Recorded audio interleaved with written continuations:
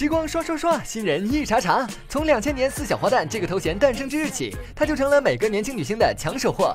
你看，最近南都娱乐周刊历时两周，集结一百七十三万网友以及一百一十位业内资深人士，经过噼里啪啦各种规则，呃，我就不赘述了。最终选出了九零后四小花旦，他们是郑爽、周冬雨、关晓彤、杨紫。网友们展开了激烈的讨论，围绕的主题是他们的实力和如此荣誉是否配套。那么今天所长就给小伙伴们捋一捋四位小花全方位的战力指数。先说说排名第一的郑爽。爽妹子向来不缺热度和话题，常年热搜第一，常年话题量爆棚，稍有风吹草动都会引发热议。小到吃饭问题，大到和谁在一起，全国网友都关心，就连性格都被心理学家掰开揉碎了分析。在别家明星想破脑筋怎么提升曝光率，怎么秀给粉丝看的时候，小爽淡然的劝粉丝把时间用在看书学习上，少上网。出道七年，爽妹子的资源都是大 IP 和大偶像剧，在电影《画壁》里饰演深爱邓超的小仙女，惊艳了很多人。还有在《相爱穿梭千年》里，单一个发型都是变化多端，美丽极了。不过大家还是觉得，在他的新剧里，美艳自信的学霸微微被演出了楚雨荨的样子，杨洋吻得那么入神，屏幕前的少女嘴都嘟了上去了。爽妹子却眼神空洞，分分钟出戏。所以啊，爽妹子的演技还是有一些局限。谁让我们想看到你无比完美呢？接下来，爽妹子的首要任务就是多吃饭加继续磨演技。再来说说周冬雨，她在网友投票环节优势并不明显的情况下，却备受专业媒体人青睐，一路追到第二位。周冬雨十八岁凭《山楂树之恋》中静秋一角，就拿到华表奖优秀新人女演员的名号。出道六六年，三部电视剧，十六部电影，合作过张艺谋、陈可辛、关锦鹏、高群书、宁浩等一票领导，天时地利人和他都包圆了，这让其他小花无人能比。后来换了造型团队，转型潮流少女，在时尚圈也是风生水起。当然，人在江湖飘，哪能没有黑历史？周冬雨的黑历史几乎都来自不会说话。上综艺对王迅缺乏尊重，被批没礼貌；上快本面对郑元畅的认真，无厘头捣乱。不过人是会成长的，这不在我们相爱吧中，她的表现让大批黑粉转真爱。小蝌蚪和六叔算是目前圈内最火的一对 CP 了吧？排名第三的关晓彤，虽然是四花旦里年龄最小的，却是戏龄最长的。从四岁半就跟着父亲拍戏，十几年的经验，那可是真材实料啊！年龄和颜值同步增长，让她完全没有童星转型的困惑，轻松的在这个暑假借助九州天空城，完成了从国民女儿到青春偶像的蜕变。自天空城之后，关晓彤的关注度那真是一发不可收拾。不信你看，学霸人设说了一整个夏天，高考、放榜、录取，每个节点必有话题。就连最近北影开学，他更是排列组合上热搜。关晓彤杨幂、关晓彤挚友、关晓彤演讲，大伙纷纷表示照片太精细，宣传太过力，伪装成路透有点过头了。还是那句话，强扭的瓜不甜，强发的照所长不看。比起关晓彤转型的毫无压力，一样童星出身的杨紫可是真不容易，难就难在把多年的小雪熬成自己。经过《战长沙》《欢乐颂》和《诛仙青云志》的洗礼，大家总算不再喊她小雪了，关注她本身了。就演技而言，杨紫在年轻女星里数一数二，就算演个傻白甜，也能让人不得不爱。请感受一下蠢萌少女的芳心暗许。秋英，你是傻吗？我现在我真想。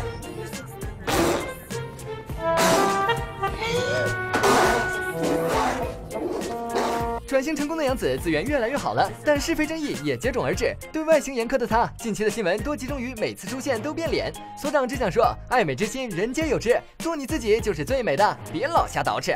好了，四位小花的优势隐患，所长已科普完毕。你们心中的当家花旦是谁呢？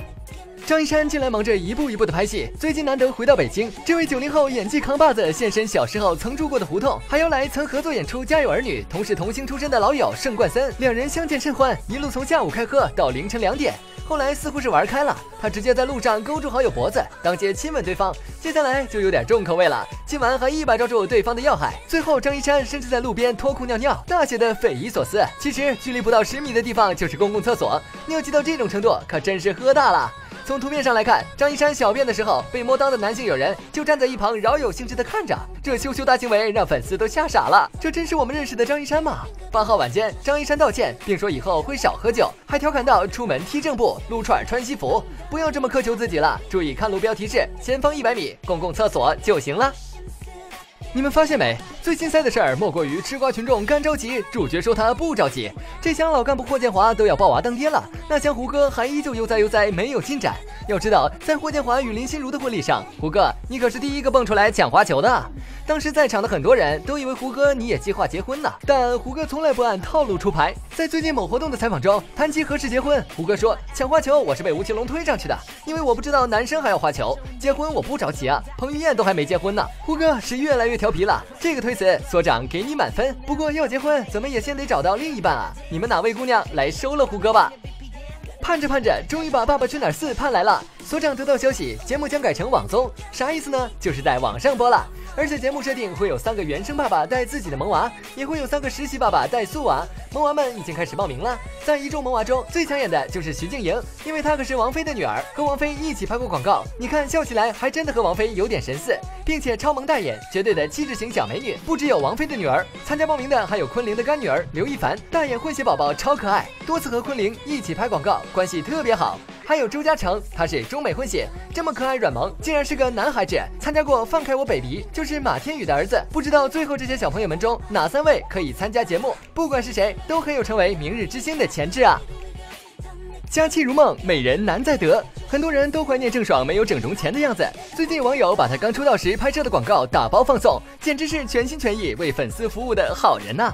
那时候的小仙女还有点婴儿肥，满满胶原蛋白，萝莉风、女神风，驾驭自如。所长个人喜欢最后一个广告，仙得很。你们喜欢哪一个呢？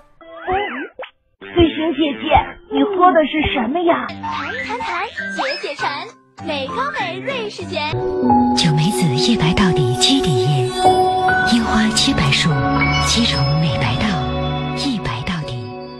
还记得因为《太阳的后裔》大红的宋仲基有一次去香港参加活动时的场面吗？二十多名保镖手拉着手，场面那是相当的英勇霸气。然而现实情况是并没有那么多的粉丝，这就叫想多了。确实有些尴尬呀！这样尴尬的事儿最近又在香港发生了。郑秀晶和郑秀妍两姐妹到香港参加活动，两大组合爱豆现身机场。本以为接机的粉丝一定会很多吧，现场一定很疯狂吧，也会很拥挤吧？这就叫又想多了。两人一下飞机，活动主办方就安排了二十名保镖团团围住正式姐妹，怕出事儿。可是万万没想到，来接机的粉丝寥寥无几，只有十几个，还有一些是不明所以的路人，都超级淡定，完全没有拥堵现象。但保镖还特意表现出人很多的样子，呃，来让一让啊，大家都让一让。这演技也是没谁了，好吧，大家一起来感受一下现场的氛围。你瞅瞅，造成拥堵的人不是粉丝，而是保镖啊！主办方还真是周到，保镖当粉丝用，一举两得呢。